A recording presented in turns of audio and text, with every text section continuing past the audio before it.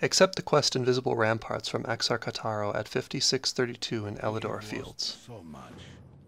This way. Follow Hataaru and collect the Charged Resonance Crystal from 5634, and then travel back to the area of the Defense Crystal and run over the pylons before returning for another Charged Resonance Crystal. Do this three times. For each pylon. Magic and technology were all as one. Ah, such wonders we would build. Now all I have is spare parts and whatever primitive materials we can cobble together.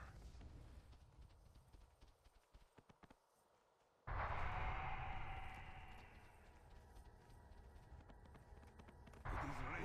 Go inside and power on the console. Enter the building near the Charged Resonance Crystal and turn in the quest from the Defense Pylon Central Control Console, and accept the next quest from it. Exit the building and kill 8 Shadowmoon invaders.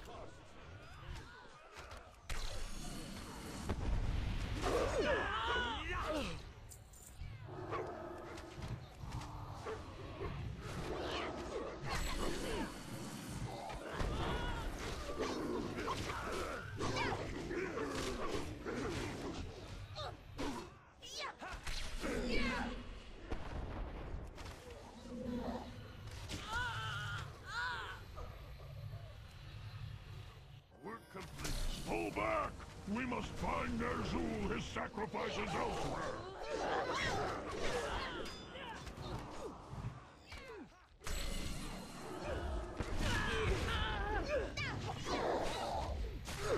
Enter the building again and turn the quest in at the console. Keep the Shadowmoon at bay. What is causing this madness?